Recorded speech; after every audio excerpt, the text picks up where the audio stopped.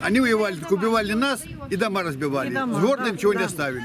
Это негодяи, это фашисты натурально, хуже фашистов. Это, это Азов, это Азов. Они- расстреливали всех Поехали гражданских. ребята И, и брали в заложники. Прям в заводе их держали, заложников, и там сидели сами. И не смотрят, выпускали никого. Детей расстреливали, всех расстреливали Чисто подряд. Это Азов, Азов, это фашисты.